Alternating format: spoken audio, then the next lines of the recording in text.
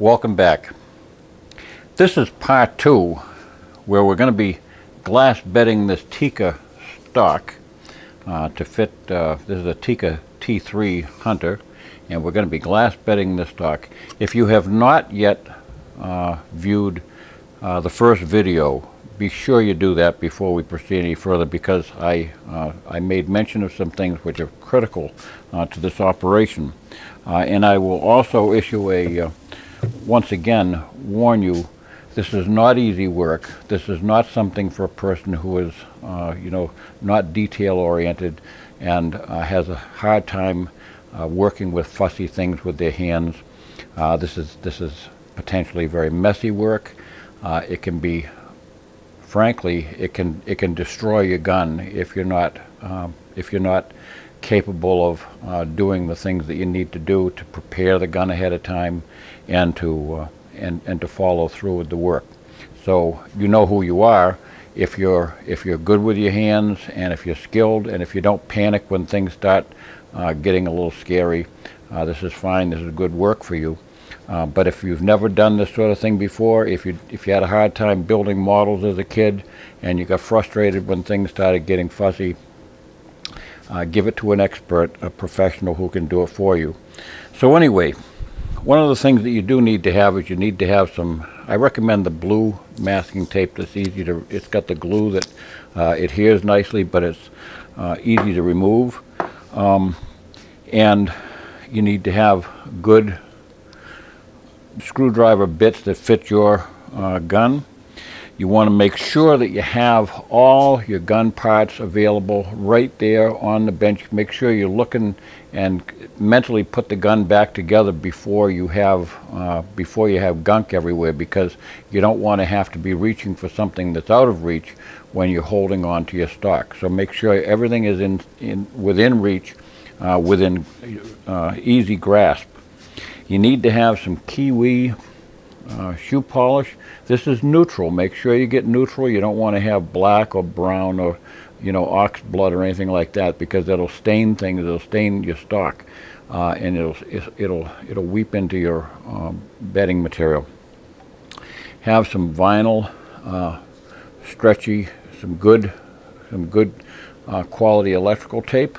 Uh, I'll show you what that's all about.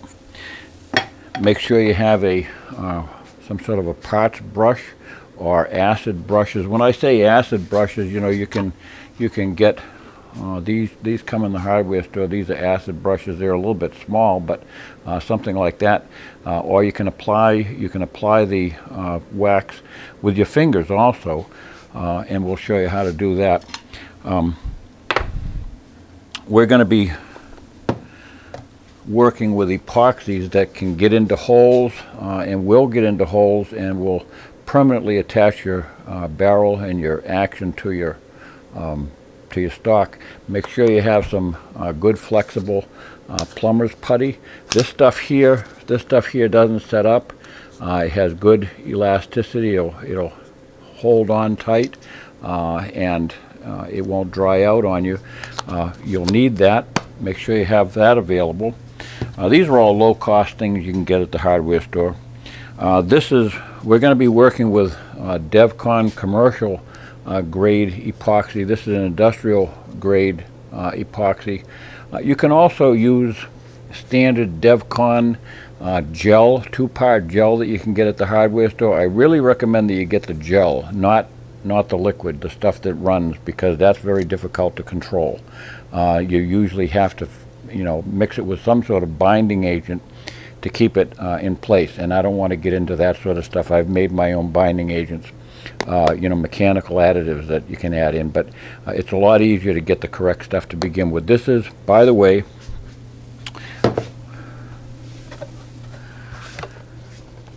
this is uh, DEVCON 10110, and this is the uh, putty this is DevCon plastic steel putty A. This is not the liquid B.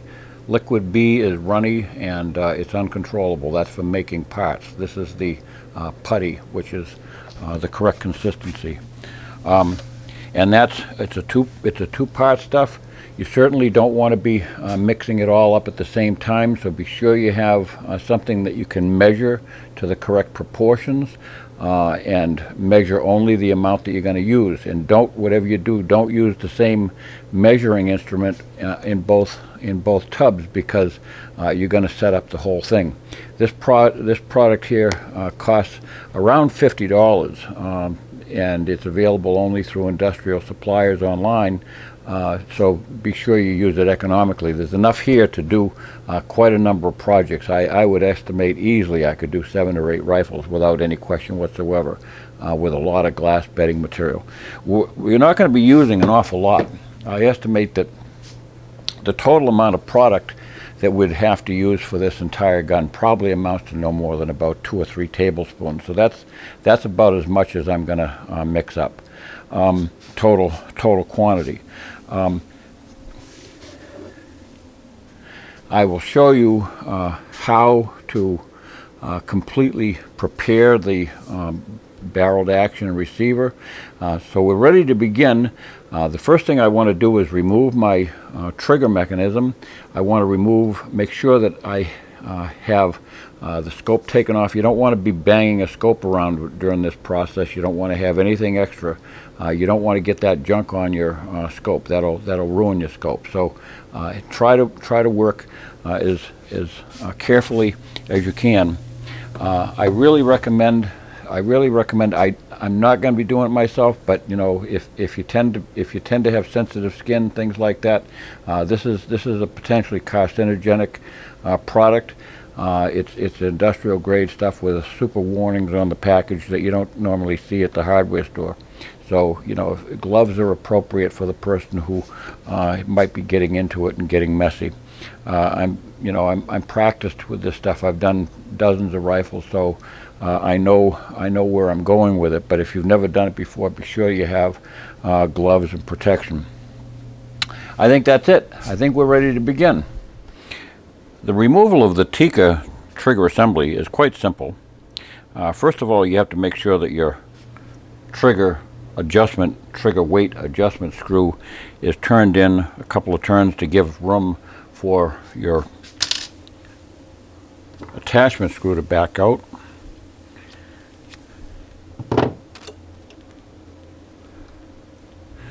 And this rifle has only one attachment screw. Some some rifles have more than one or there could be a pin. Now anything that I'm describing with the Tikka is uh, generally applicable to uh, other rifles as well. So uh, the, this, you know, you have to you have to make adaptations to your own particular uh, rifle design, but they're all they're all pretty much the same. You have to follow the same protocols in terms of uh, being careful uh, and making sure that you don't get into difficulties with any hooks you want to examine your entire, try to mentally imagine where you would go if you were epoxy uh, to, to attach to this uh, rifle. And you have to prepare for that. So I'm going to set aside my uh, trigger uh, where that's out of the way. I do want to have my trigger guard and I do want to have my trigger uh, my trigger guard screws, my atta action attaching screws. Again, make sure you have everything ready to go. Make sure that you have the correct, make sure you have the correct bits uh, at hand. Everything needs to be right close by. I can't emphasize that enough. You can't, you can't possibly uh, have time to go down to the store to get things that you need uh, once you start working with this uh, and start setting it up. If you do get into a situation where you uh, absolutely uh, can't proceed any further and you've got uh, epoxy uh, in your action uh, in your stock get it out uh, scoop out all that stuff immediately because you, you don't want you can't you can't go back to it later. You'll you'll have to abort it right there make sure you get the stuff all out as quickly as you can with a putty knife and have a putty knife on hand in case you need to do that. I do recommend that you have on hand uh, some sort of application instrument. The, the best thing is just simply uh, tongue depressors like this. I've used this one for several rifles. Um, and you can also uh, have you, know, you can have a standard uh, putty knife. You can have I've got I've got a couple of different I've got a couple of different these you can get in art stores. You know, painters use these to apply uh, art art paint uh, to canvas. So these are very handy sometimes. They're very flexible steel, and these are really nice sometimes for uh, working into places where you uh, don't want to work with your fingers and get this uh, get this stuff on you. Um, this stuff will, you know, you want to have some you want to have some paper towels, and I recommend you know heavy grade shop towels or at least uh, old rags or something so that you can uh, wipe things off. Um, so the first the first thing that we want to do is we want to protect the uh, we want to protect and prepare uh, the barreled uh, the barreled action. Everything that you uh, everything that you do uh, to prepare this ahead of time will make life so much easier uh, later on. Now you can just simply take this and apply it. I'm not going to be bedding further than only about three quarters of an inch forward of the forward of the receiver uh, but I'm going to be uh, applying this all over. I want to be sure that I don't miss any spots and that's why I have this brush here because this will get into this will get into places where my fingers can't go. Uh, apply it, get it right into the screw threads. You want to have it right in those uh, screw threads everywhere you go. Uh, and now it's fine to you you want to apply you want to be sure you apply uh, plenty. Now don't leave uh, you know don't leave gobs. In other words, there should be a film. It should be a heavy heavy film, but you don't want to have uh, you know a, a, cake of it uh, sticking up because that will interfere with the uh, glass bedding material and uh, it, it can it can very very easily um, you know create a, a bubble or a void later on. Now I'm going again right into these screw holes. Be sure you get it everywhere.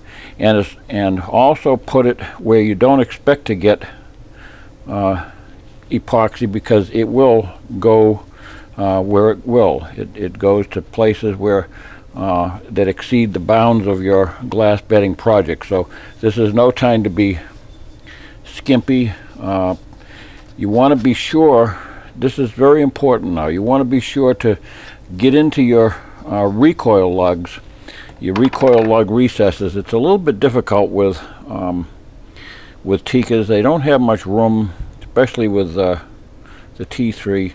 I'm putting I'm putting wax I'm putting shoe wax right inside the uh, recoil lug surfaces and see if I can get that in there as much as I can because when I apply that four screw that might push a little bit of uh, epoxy up inside that action and we want to be sure to guard against any possibility that epoxy will set up inside that action. But uh, we will also have a um, way to um, deal with that later on. We'll be backing out those screws and four things set up just to uh, clear the clear it out.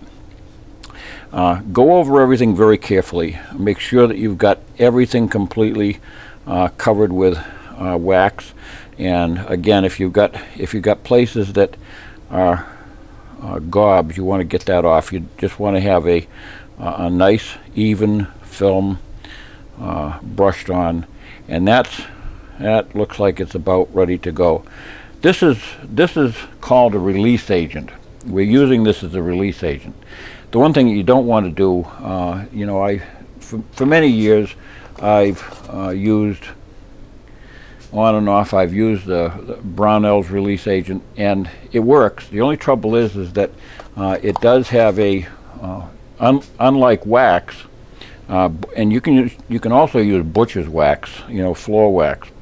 But unlike, unlike waxes, which flatten out and have no thickness, release agent does have a thickness. I've measured it. It can be a half a thousandth or more thick. It can be as up, up to a, uh, if you use it as applied, uh, as they recommend there is. And I prefer not to have that sort of uh, thing uh, on my uh, receiver. Now the next thing is to do the screws.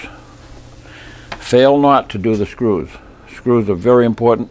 Uh, put a heavy coat on those. This is one place where you want to be sure that the screws have got uh, gobs is fine. It can be it can be a heavy buildup because we don't really care. We want to be sure that there's no um, there's no attachment uh, to the screws whatsoever. You want to be able to release those very very easily. Uh, so and and to the screw head and everything. You don't want to have any, anything bind whatsoever. Set those aside.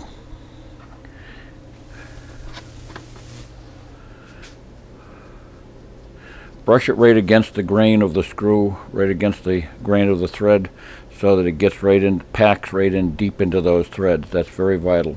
So we've made sure we had it in the female threads and the male threads, um, and plenty of it. The trigger guard, again. Now we're not going to be bedding the trigger guard. I have bedded trigger guards in the past. Uh, with with trigger guards that tended to be uh, you know problematic. Sometimes you get a trigger guard that rocks. Uh, I have bedded them, but uh, again, that stuff can go places. Now this is a putty which uh, tends to be uh, much more controllable, but you know it's always easier to polish this stuff off afterwards than it is to try to fret over getting your gun apart. So apply that apply that around any places where those uh, where that putty might possibly uh, seep and uh, get into the get into the uh, trigger guard everywhere that you everywhere that is possible if if it's possible for the stuff to get in there it will and especially if you're working with some of the looser things you know some people use and I've used it many times if you use two-part DevCon epoxy that you can get at the hardware store it's wonderful stuff. Uh, I've bedded, I would say probably uh, the lion's share of the guns I've bedded was with that stuff. Uh, I'm taking on the recommendation of uh, people who have used this commercial product in the past. I'm taking it on their recommendation that this is even better. So, um, but whatever you do, now we've got we've got all that uh, completely coated. The screws are coated. We got a screwdriver handy. Um, now, we want to be we want to be very sure we step up now to our putty. Now, if you watch my first video, we are not going to be we're not going to be bedding front to rear the entire the entire action. I personally believe that it's best to uh, bed two points, bed at the the rear tang and bed at the recoil lug and ahead of the recoil lug by a, just a small amount to provide support. I do not believe in bedding uh, the entire action. I have bedded entire actions before, and I have experienced uh, shots that tend to be uh, erratic because I believe that there's uh, tension problems. And then you get into a situation where you have to torque your screws because torquing the screws is the only way to control the torquing of the uh, the torquing of the action. It's less critical. You know, you hear about torquing action screws. It's far less critical to about torquing the action screws if they're only connecting at the front and the rear, because you, you're not dealing with you're not dealing with uh, torsional stress uh, throughout the entire action and it really suits uh, longer actions better. This is a long action, uh, the same as you'd have with a Remington long action or a Winchester long action. So this Tikka is a long action. It's far better suited for that sort of an action because uh, you, you have a tendency with that length to have uh, stress and torsion built up. Now I'm using this plumber's putty. Uh, and it's not this is not window glazing putty. Please do not use window glazing putty. That's an entirely different product. It's unsuitable for this project. Um, now this is where I would take my this is where I take my knife right here and I'd work it in. Uh, now you say, why am I putting it into the screw hole? Because that's where the screw has to go. Well, it it it will. The screw the screw will go right in there. Uh, and it'll displace that putty, and it'll push it up in. Uh, but I want to have I want to have putty leading the way uh, so that uh, it provides good protection so that I don't have um, I don't have that uh, when I say putty I'm talking about the protective putty here uh, the plumber's putty. Uh, so I don't have the DevCon putty uh, working its way up in. Now I'll scrape off the excess I love these little artist knives. These are perfect for this. Um, buddy of mine gave me a set of these. He gave me these when uh, I was doing his uh, Mini 14, and they're they're really great to they're really great to work with. And they don't they're they're soft. They're they're a soft spring steel, so they don't uh, they don't scar your gun up if you are working carefully. Also, any recesses where it's likely to uh, get in. You can roll this stuff up like a sausage and you can push it in.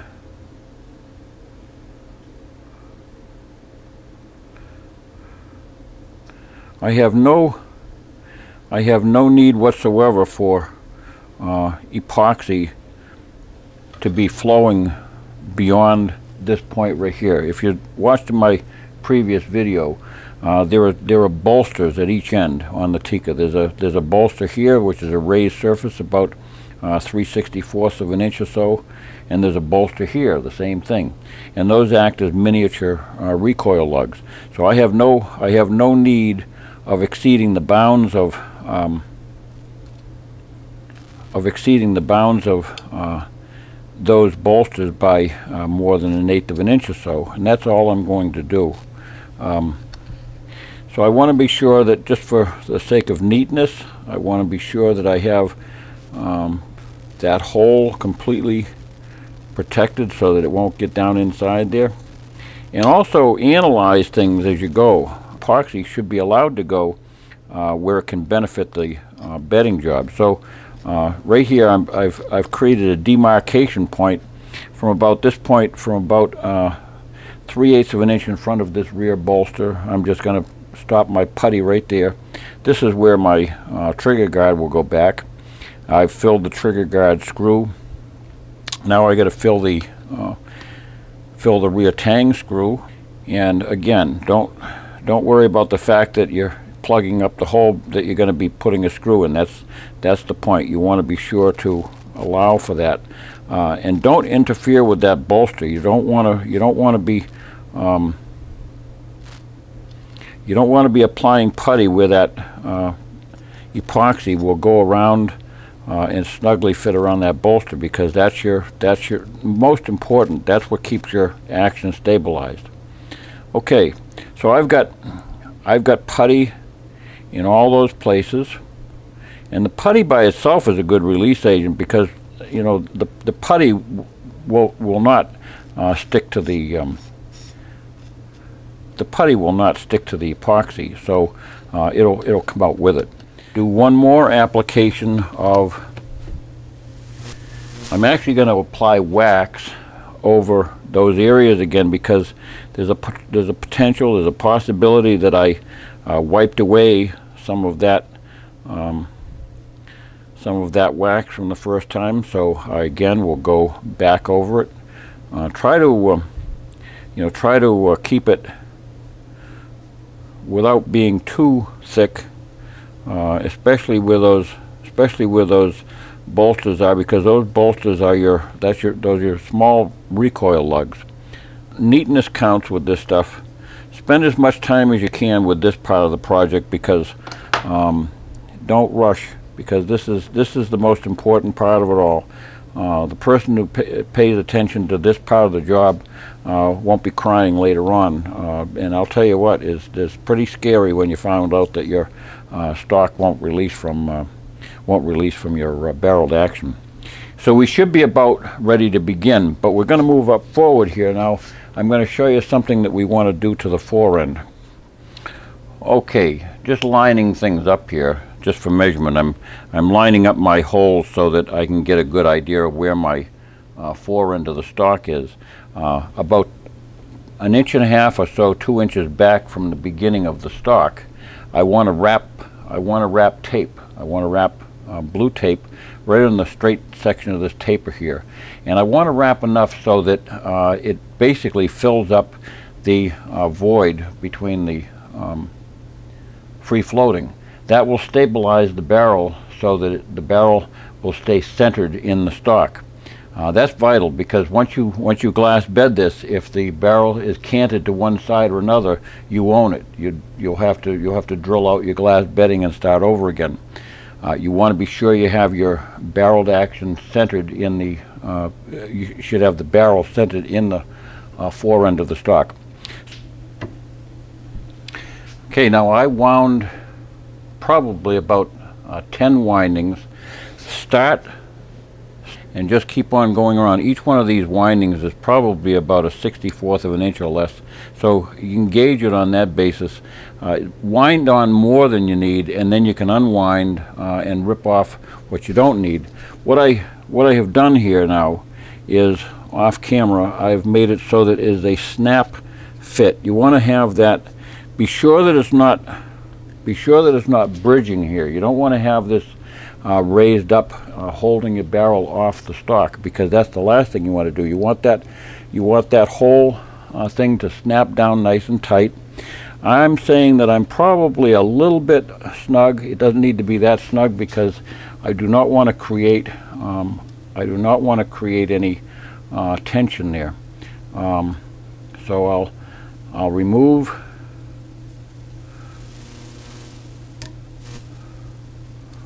I'll remove half a winding right there. Make sure that you look down inside and you can see that your action is bottomed out. Uh, inspect and make sure that your barrel is uh, fully engaged in your fore end.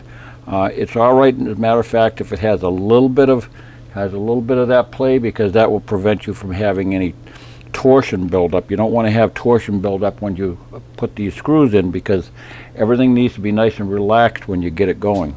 Uh, what, what we've done with that tape though is ensure that the barrel is centered so that it won't, uh, it, it won't swing uh, east or west. And that's all, we, that's all we need to do. So once you've, once you've uh, confidently assured yourself that your action is tight and your fore end is fully seated and uh, little make sure it has clearance but make sure that your uh, left to right uh, is not able to uh, swing. Now you're centered and you you have yourself a free floated gun. And if I and as I said in my last video if your rifle has not yet been free floated don't free float it at this time the only thing you want to do is, is place the stock on and make sure that it's not springy. Make sure that this is not applying pressure. If it is, uh, if, if your fore end pillar is uh, applying pressure, just sand off enough to relieve that pressure so that uh, it maintains the, uh, the appropriate height because you don't want to close up you don't want to close up the gap between your barrel and your action after you uh, free float it. I mean after you uh, glass bed it. So leaving that pillar is the same as leaving this tape there. That that provides that uh, that clearance so that you don't have to uh, hog out too much wood. Okay, I think I'm all set to go. We're just going to be very sure that we have, uh, I had that stock on and off, so I'll quickly go back over things, inspect it, inspect it, inspect it, make sure you have everything coated uh, and you're, and you're well covered in case you have that uh, epoxy gets places you're not supposed to get. And uh, be sure if you have uh, scope screw holes that your scope screw holes are also plugged, uh, either with uh, plug screws or with the putty because you don't want to get that stuff into the screw holes. You really have a problem with that. Okay, let's review what we're going to do with the stock. We're going to be applying uh, we're going to be applying epoxy putty uh, from approximately the front of the magazine uh, it, some of it's going to flow. Remember, this will this will move around. Uh, it's going to flow a little bit beyond the magazine uh, down along these rails right here. So we're just going to apply uh, putty uh, from this area about uh, 3 eighths of an inch forward or so of the recoil lug area. And we're going to apply it back here on the tang surface where those bolsters are. Now, that epoxy will not, uh, that will not adhere well to any place that is smooth, uh, especially if it's been varnished, or in this case, I just got some uh, wax on it when I was fitting the, uh, fitting the stock with the fore end uh, tape. So I want to clean that all off with uh, mineral spirits and then alcohol to be sure I remove the mineral spirits with the alcohol. and then I want to take a Dremel tool and I just basically rough up uh, the areas that I want to apply um, the uh, epoxy putty. Now it's very, very important to uh, determine your, your boundaries. Make sure that you're, be sure that you understand your boundaries. You don't want to be cutting uh, with your Dremel tool beyond the tang. In this case here, uh, it's, it's beautiful. I know that the, the bolster itself will provide the home for the putty. I really don't have to apply putty beyond uh, that that bolster hole and it will seep over both sides of it and it will provide plenty of uh, it provide plenty of contact.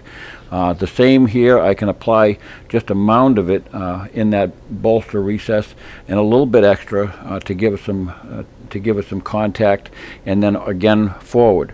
So I want to be sure that I rough up any area in here and the best way to do that is to take a Dremel tool with a uh, with a fairly fine bit, about an eighth of an inch diameter bit on the highest speed. Be sure you use it on high speed because on low speed it'll jump and bang around. In, but before I begin that, I'm going to tape up. I'm going to use my wide tape. I use narrow gauge tape, uh, you know, half inch wide tape on the barrel, but I'm going to use wide uh, tape and tape up the stock where there's any possibility of that uh, bedding agent uh, from, you know, defacing the stock. Okay, as you see here, I've got the uh, sides of the stock taped be sure you don't get any tape in the way of where you're going to be applying your trigger guard because that's going to be a problem uh, right away as soon as you uh, start putting that thing back together. Again, be sure you have all your stuff handy and ready to go. Uh, I really recommend a Dremel tool for this. This makes it a lot easier. What I'm going to be doing is, because this is the primary, now I've got a very, very small bit in here. This is like a uh, it's a very small bit, like a dental bit. Uh, just to make sure it's very sharp. Watch out for this puppy. This collet here uh, is responsible for tearing up a lot of things that they're not supposed to be touching. So watch what you're doing with that. Keep your fingers close to the end of the uh, apparatus and uh, watch everything carefully as you go. And be careful. This does this tends to bounce around. So uh, be certain that you're operating it on high, high speed. If you notice here, what I've done is I've cradled it uh, in my uh, vise. I've got wood padding, but I've also got a very thick uh, old diaper here, and that's wrapped underneath the stock so that it can't sag down in. In other words, pushing down on this, that, that, acts, as a, that acts as a hammock and holds it so that it, it can't press down inside because I don't want to apply pressure with that vise. That vise can uh, damage that stock. So I just want to apply gentle pressure with the vise, uh, with the vise jaws. And back here, I've swung the vise around so that now my the toe of my stock is supported by the bench. So we're ready to begin.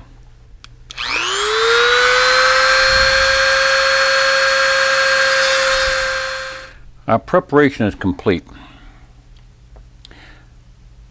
Up front here, I took out uh, about 3 eighths of an inch forward of the recoil lug.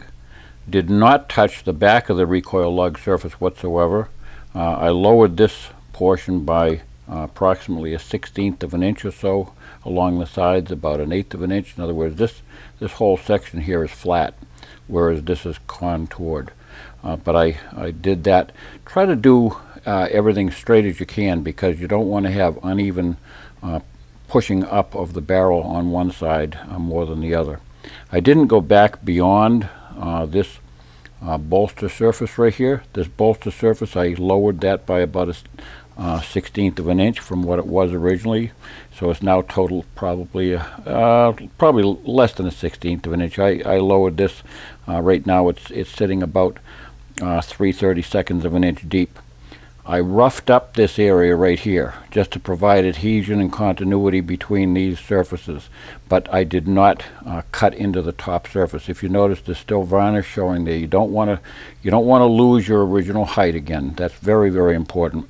Back here uh, I simply uh, this was originally a rectangular bolster recess. I simply uh, enlarged it uh, somewhat of a radius um, but again, uh, the, the tang itself will be sitting uh, at its original home uh, where it can uh, have full contact. Nothing forward of that, nothing forward of that bolster recess. I want to have that original surface also. So basically I've maintained the original uh, structure of the receiver without altering anything. I'm not going to be applying uh, compound uh, beyond these bolster recesses and the um, the actual uh, cut that I made there. So let's get that stuff mixed up. We're ready to begin. Now this is very, very important at this point. From here on now, the clock is going to start. And once it starts, uh, it's not stopping until you're done with the project. So make sure you have every, all your ducks are in order. Clear the deck of anything that does not involve this process. Not, you don't want to have your trigger mechanism in the way. You don't want your, you've got to have a clear vision of the things that are going to be uh, used here. Make sure that you have everything assembled ahead of time so that you're not calling upstairs for help. Make sure you have your screwdriver that fits the uh, your action screws. Make sure you have your recoil lug. Make sure you have your uh, trigger guard, uh, the barreled action naturally. Everything has got to be set. Your two-part epoxy, uh, you'll need to have a you'll need to have a uh, disposable mixing container. Don't use an aluminum don't use aluminum foil. That's going to tear and drag and you're going to have a real problem. Uh, have disposable spoons, two, one for each because you don't want to you don't want to introduce uh, one mixture into the other because you'll uh, quickly spoil $50 worth of um, compound. You want to have some sort of an application trowel. Again, these, these spring steel ones are beautiful for that sort of thing that you get in an art supply store. Uh, tongue depressors are, are, are, also good for uh, applying the stuff. Keep your hands out of it if you can. This is ugly stuff. I have here a postal scale that's very, very accurate. This, this measures uh, grams uh, you can also use a reloading scale if you want. Don't use a balanced beam scale because that's really going to be a horror show. You want to be able to measure according to uh, weight. That's important. Volume is very, very tricky unless you're working with large quantities. according to this plastic steel putty A, make sure you're reading along the correct line. You can see the pot life is at 75 degrees is 45 minutes. Functional cure time is uh, at 75 degrees is uh, 16 hours. Uh, full cure is in 24 hours. But this is going to move along a lot faster than that when you're actually working with it, so be sure that you have everything ready. Your mix ratio by weight is 9 to 1. And in other words, the larger one uh, is mixed with the smaller one, 9 to 1 ratio. The actual volume uh, measurement is 2.5 to 1 move these around so they're in that order. So that would be two and a half to one by volume, and that's a very tricky measurement. So I'd rather do it. I'd rather do it on the scale by weight.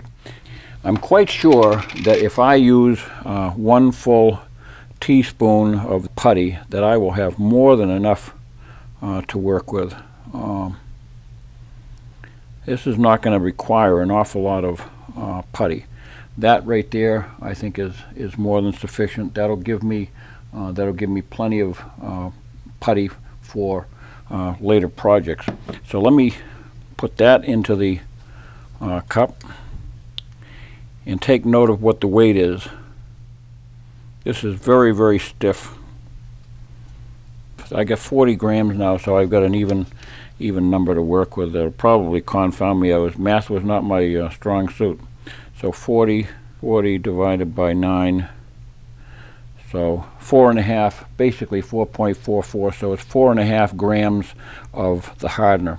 But before I proceed, I want to make sure I get rid of this thing here. Cover up my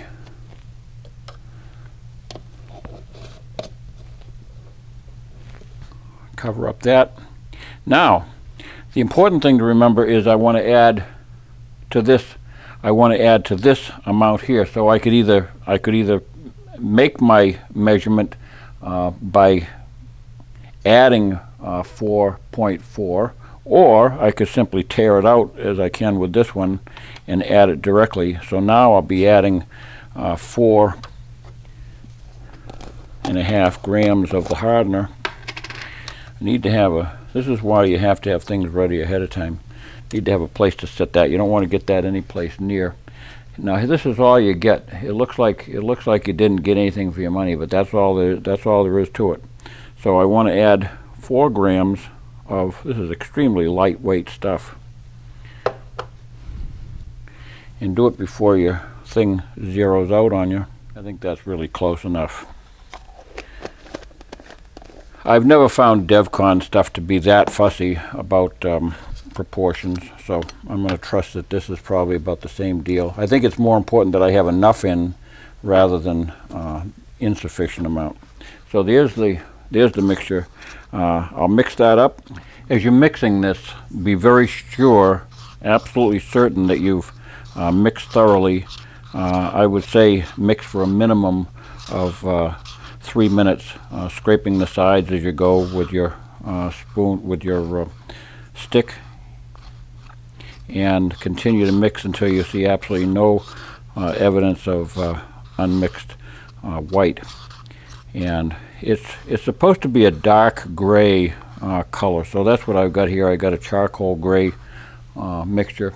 Now I can uh, I can basically I can put this tongue depressor aside for another day. Don't get my fingers into it.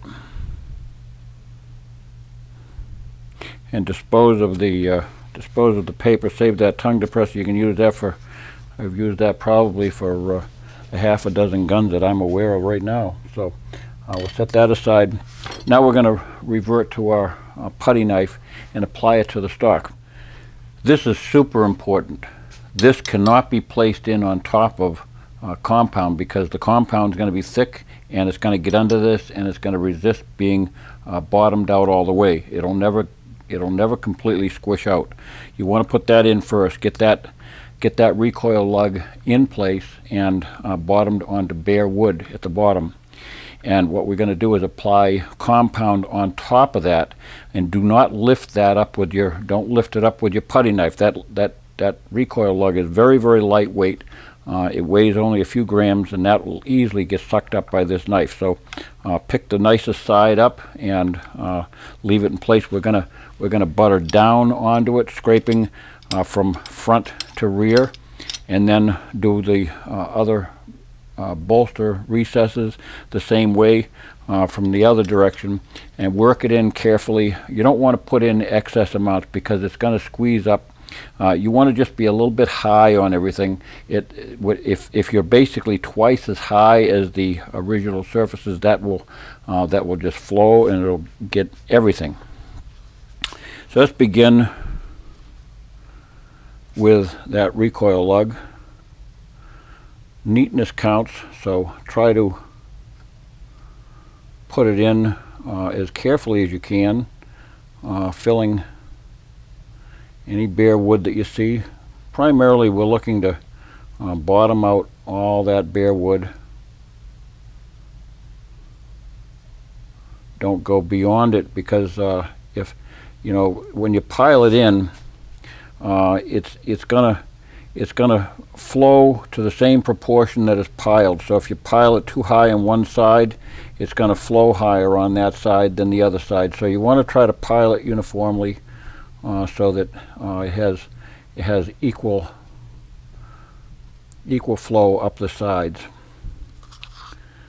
That's plenty of uh, there's plenty of putty. That small amount of putty that I made up, uh, that basically that was one hefty teaspoon of uh, the base putty and uh,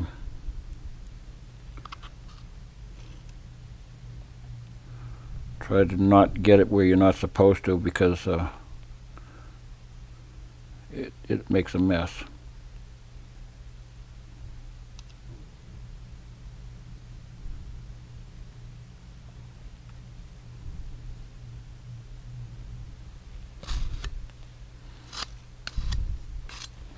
If you see that putty has gotten where it's not supposed to be, uh, scrape it out of there.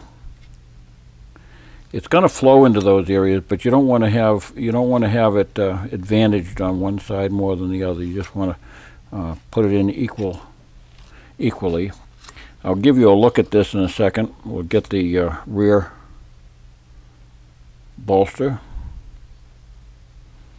In this situation, I'm really not interested in applying more than just that, just to fill up that bolster recess.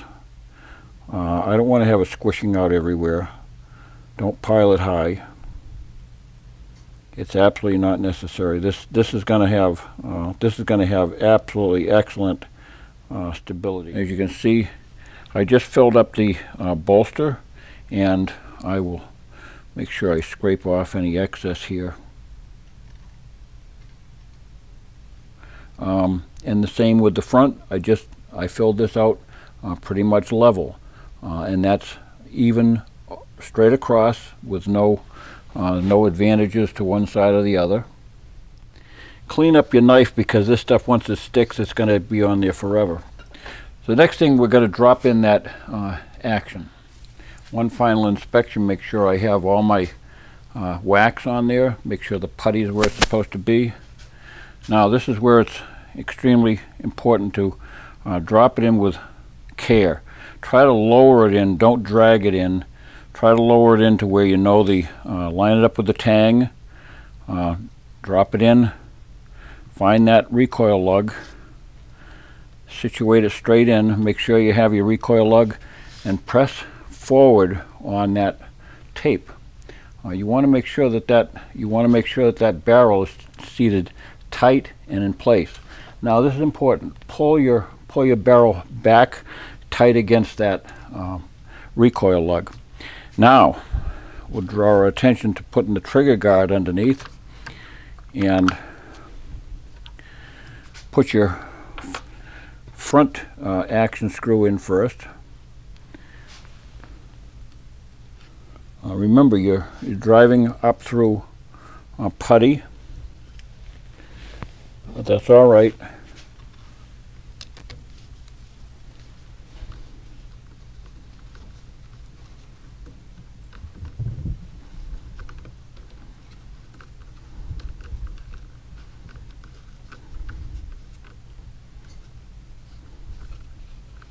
Now, I tightened it just snugly, and I'll leave that until I put in the tang screw. I'm going to swing my I'm going to swing my uh, vise around just a little bit because I'm not going to have clearance.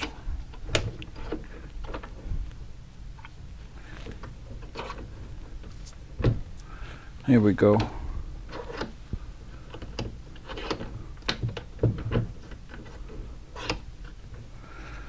Can't beat a can't beat a, a mechanic's vice or a machinist's vise for doing stuff like this. It's a lot better than uh, it's a lot better than using uh, Rube Goldberg uh, gunsmith vices, so called. That really a single purpose. I can use this for anything, whereas handguns, rifles, um, I can use it for things other than guns. So it's a it's it's more than a singular purchase.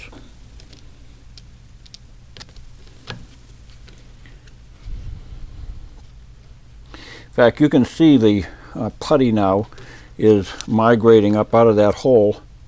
Um, now what I've done is I'm tightening those screws until they basically don't want to go any further. Uh, I don't want to over torque them. You don't need to have a you don't need to have a torque measuring device. Um, but what I'm ensuring is that um, what I'm ensuring is that everything has bottomed out. Inspect around the edges and make sure that you have uh, got good firm contact. Uh, after you after you wait about 30 seconds or so, uh, check your screws again and tighten it again because quite frequently uh, that stuff will migrate a little bit slowly. And that's it. You were wondering what the electrical tape was for probably. This is what we're going to do. We're going to tape the action tightly and wind it down. When I say tightly, I mean just wrap that stuff right around and around and around. And why are we doing that? Because this is actually how the uh, receiver is going to be held in place uh, because I'm going to back that I'm going to back the action screws out.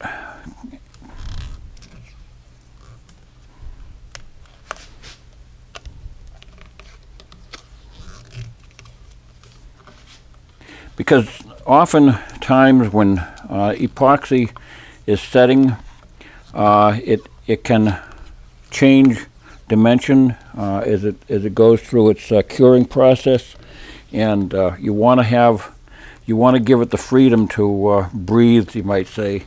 Uh, so once I got that taped in place, good and snug, I wound around there plenty of times.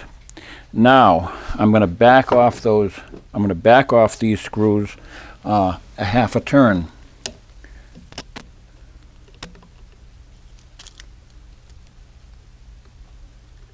And just make sure that they're still in place. You don't want to take them out, but back them off a half a turn. And then back home. In other words, I want to back them out until I've gone a half a turn, then back in until they just contact bottom. You don't want to, I'm not applying any torque whatsoever. In other words, I'm going from like zero torque to a plus torque, uh, but without tightening them. So that, in other words, it's holding the, it's holding everything in place, but the big work is being done by the tape. Now we're all set. Just Again, double check, make sure your barrel is seated. Make sure it's aligned straight down the stock. It should be if you put that tape up there, that centers it. You're all set. Now it's just a matter of waiting. Okay, it's been about three and a half or four hours since we uh, set the gun up to uh, set.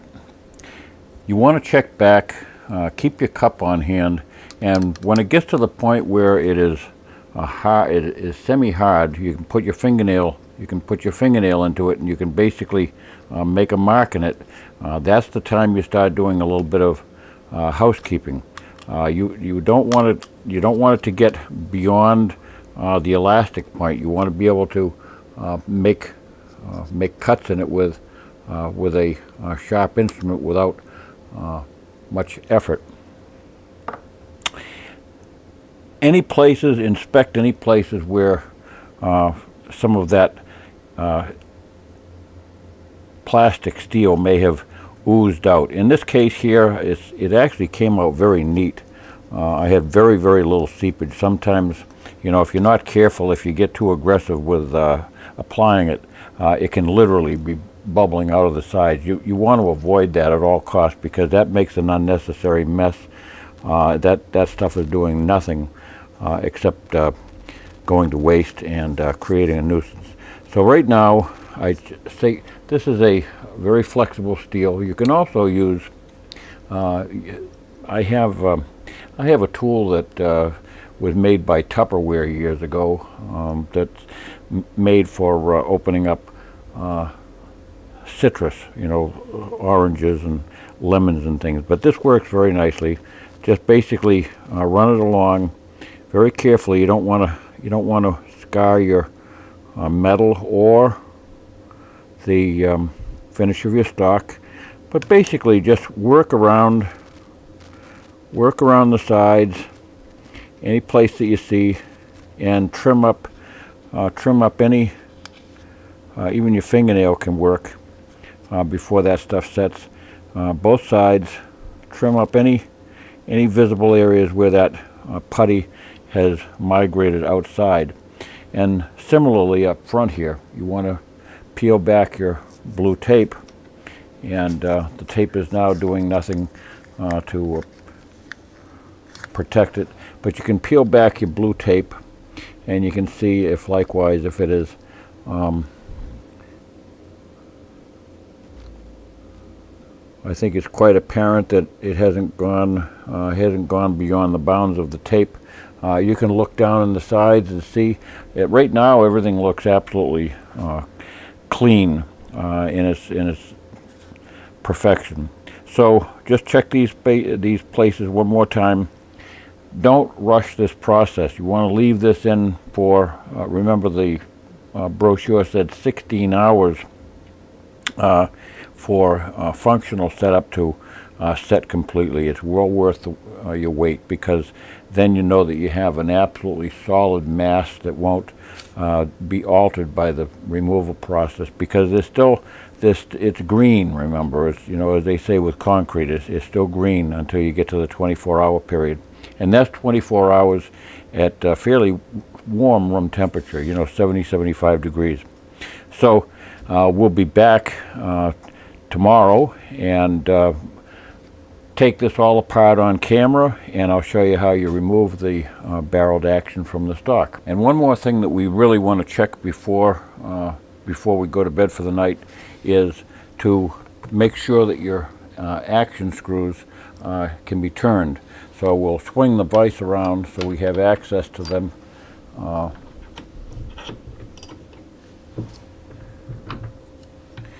and all we're looking to do is to back them off uh, about three quarters of a turn or so, and then um, loosely uh, torque them back. And when I say torque them, I'm just saying turn it until, uh, with your fingertips, until the screw doesn't turn anymore uh, easily. So let's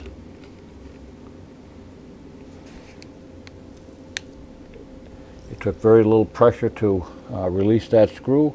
That's all I need to do is just with my fingertips uh, release the tension on the screw to ensure that uh, the release agent is uh, working and I don't want to return pressure more than I had to begin with. In other words, I want to just basically back it off and then reset the screw to exactly the same amount of uh, pressure that it had beforehand. And I'll do that with the front screw. It took very little pressure to release that. I'll put it right back where it was without applying torque. I don't want to I don't want to be changing the compression. This this tape is doing all the work, so allow it to uh, work naturally. Uh, and return your return your vise back around so you're supported for the night. You don't want to come back tomorrow morning and find out that your rifle has hit the deck and made a uh, broken stock of it. So that's all. We're ready to uh, and we're ready to hit the hay and we can check it tomorrow. You know, I don't know how many times I've done this operation to various guns, both mine and uh, others. There's always this same feeling that comes over me just before the unveiling. You wonder what it's going to look like. Did it come out right and all that? It always does. It always comes out right. Now, I've had times when uh, separation of the barrel and the stock didn't want to happen as easily as I had hoped. Uh, I remember one time, if you ever do have, if you ever do have a, a real serious issue trying to get it separated, um, the best thing to do is to put it in a deep freezer. In other words, bring it down to zero and uh, just leave it there for a few hours. That will that will generally uh, allow you to break the break the two apart. But um, they always come apart. Uh, this one here has uh, basically only a, less than a teaspoon of the entire um, mixture. Um, it's been 18 hours now since I first mixed this up, and this is this is absolutely rock hard. This this this cup, this paper cup right now with just this amount of uh, just this amount of stuff in it is is it's like a steel, it's like a tin cup. Uh, very very very very hard. If I if I if I drop it, it, it it's just um, it won't even it won't even dent. So we're ready to we're ready to unveil it. We're ready to uh, see what's cooking underneath. So let's get at it. Electrical tape here and unwind it.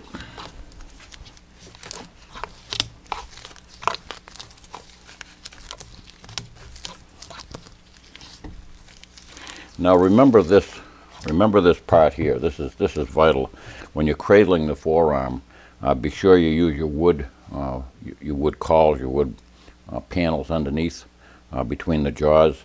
Pad it with, this is very thick, this is half inch thick of um, uh, padding. And I have it wrapped underneath so that it makes like a hammock. That way there I don't have to tighten the vise. The vise is basically just hanging onto this cloth. The cloth can't go anywhere, it can't slip between those two boards. So that gives you uh, perfect support for working on the gun without crushing the uh, fragile area of the stock where it's, it's thin there, and you certainly don't want to inhibit uh, the natural process of uh, bedding.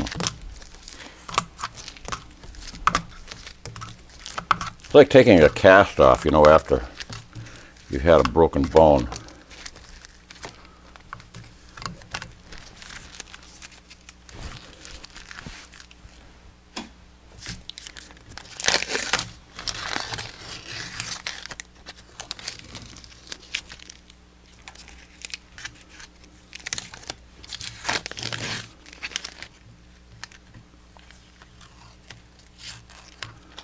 Far so good, it looks good.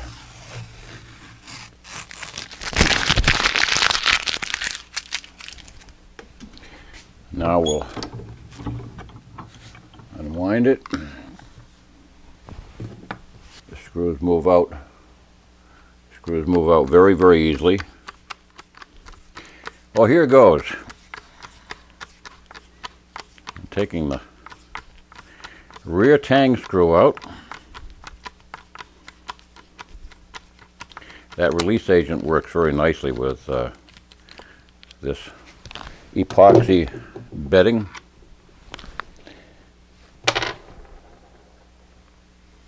Front screw is a little bit snug. That's a good sign because hopefully epoxy has journeyed down that screw hole. And you know what that does? It provides a pillar. In other words, along the shank of that screw you have uh, steel epoxy that is coming down and that becomes basically a collar and that provides uh, resistance against any squishiness that might occur with the uh, between the grain. Now very dense walnut like this doesn't have any compressibility of any measurable amount uh, but there may be a little bit of torque there. Two things that we did to uh, eliminate any torquey issues with regard to the screwdriver uh, tensioning. First of all, we bridged rather than glued the whole thing. By gluing the whole thing, if that, if this area of the stock should someday develop a hump in it, then torquing the action down will basically buckle the action and cause uh, instability problems that, that you don't want by not having by not having any uh, possibility of that hump by bridging across the two screws now we have now we have a, a situation where there's absolute firm uh, there's absolutely firm bedding at both screw ends without worrying about torque issues. And that means you don't really have to worry about how much you compress uh, with your with your screwdriver. In other words, how much torque you have to apply. Those issues are gone now forever. Tightening this action simply means tightening the screw down to it's reasonably tight, like you put a ketchup bottle cap on. And if you if you want to have a little bit extra firmness, you can also uh, add a drop of medium Loctite, medium thread thread lock of some kind. Never use heavy thread lock. That stuff is designed to never come apart and you don't want to glue your uh, you don't want to glue your screw in. So here goes. I've got both screws out. I've got the um, and I just I do want to show you I have a evidence of a pillar right here. So we've created a uh, pillar bedding without even without even having to bore anything out. Uh, this stuff is extremely hard. I mean, this is we're talking about steel here. The back is of no concern. You don't need to pillar bed the back screw. The back screw is going to be uh, floating, remember. I'm going to chase that out so that uh, there's no contact with the screw to the wood. The front screw, I want to have it uh, firmly bedded all the way up, and that provides that that provides that nice support. Okay, let's see if I can get this apart now. If you have a problem, uh, you know, getting it, I, am going to just simply see if I can pry it apart because there's very little, there's very little bedding compound in here. But if you ever have an issue with getting it apart. Just simply grasp, grasp everything tightly and with your, with your, with a firm downward stroke on a soft object, not, you know, when I say a soft object, I'm saying put a pillow on your bench or something like that. Just stroke firmly down onto the barrel and that'll lift the barrel up off of the stock, off the, off the uh, channel, and it'll just simply pop it loose. But I think it's going to come free. Make sure you have everything tight because usually when these things go, they snap apart and you don't want to have it flying across the... There we go. We've got a... Our putty is still in place where we put it. To get rid of that putty, just uh, simply scrape it out with a uh, plastic, you know, plastic tool of some kind. And it's very, very easy to get uh, the remnant out with some acetone. Acetone will take that putty out. Uh, and uh, it'll also take the uh, wax off of that uh, barrel nicely. You have to use acetone outdoors. Don't ever use acetone inside because it's very, very combustible, very flammable. So let's take a look at what we have here. Well, I think we got perfection. I'm very happy with this. The uh, rear tang is uh, nicely distributed. That distribution is what we worked for by making sure that we leveled it out so there's no high sides on one side or the other because wherever it's high, remember I told you, it's going to tend to flow more into those uh, in, into those areas. So try to try to distribute it evenly to begin with, and you'll have even distribution when you uh, get done. The uh, tang the tang area of the screw at the bottom. Uh, I didn't put as much I didn't put as much compound in, so naturally we didn't have there's not much to chase out. Don't be drilling anything out until you've at least reached the 24 hour period. And I'm not going to be putting this back together. I don't want to have I don't want to have any possibility that this this is 18 hours old, but it's still considered green. It's not going to be fully hard for 24 hours in a 75 degree environment. So, but up here, look at this. We got we got nice We've got nice contact. Um, I don't know if you can see the uh, the bolsters, the way they the way they made their own little home right here. Uh, I think if I if I can tilt it in the with the shadows correctly, you see how the bolsters now have created their own uh, home, front and rear, and they those provide a very very meaningful uh, resistance to lateral or uh, fore and aft travel. So uh, there's absolutely solid bedding there. You see how you see how right here there's even uh, an impression where the uh, where the receiver left a left its own mark. There's all kinds of there's all kinds of machine marks that have uh, been uh, left here. This is a negative impression of your entire receiver. the recoil the recoil surface, the recoil lug is is beautifully bedded. Uh, it's it's bright and shiny on the leading edge where it's up against the uh, where it's up against the uh, recoil, and which is nice, nice and shiny. There's no there's no compound there. That means that when I push the that's achieved by pushing the barrel the barreled action back against that uh, bedding block before we set the screws. In the rear of it, it filled in it filled in whatever gap there may have been. So this this bedding block this, uh, this is now a permanently attached recoil lug. So everything is the way we ought to uh, want it, and it's pillar bedded in the front. Uh, we just leave it as that. Uh, that'll that'll be a very very firm surface that helps control recoil too. If you happen to have a heavy recoiling gun, that is uh, that provides extremely good uh, surface contact to uh, add additional strength. So there you have it. I'm glad you were able to see this because frankly there aren't too many demonstrations online uh, that I consider to be uh, very, very uh, informative. Uh, some of them show uh, segments of this process without really getting into uh, how it's done. So I wanted to show you how to do this. It's not very difficult to do, but it's not easy work. It's, it's, it's detailed precise work and for anybody who is interested in uh, giving it a try, I encourage you to do so. so. That's it. Thank you for watching. Don't forget to subscribe and mention me to your friends. God bless.